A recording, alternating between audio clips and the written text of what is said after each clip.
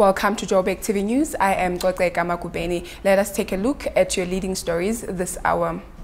Agri SA concerned by Parliament adopting land report, prisoners escape from the South Gauteng High Court. Good morning.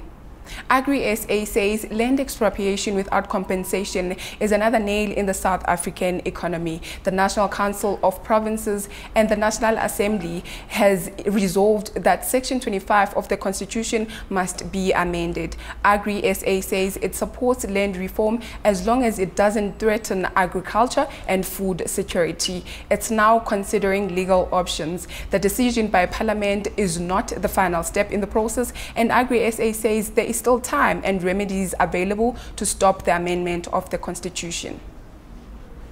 Police are now investigating how two prisoners, Mongezi Mtunugelwa and Sibonelo Nkosingi Petwala, escaped from the South Gauteng High Court.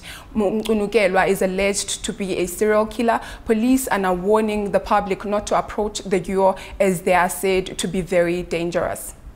And lastly, should load shedding resume, the schedule can be found on Eskom's site where you type in your suburb to find out if you are affected.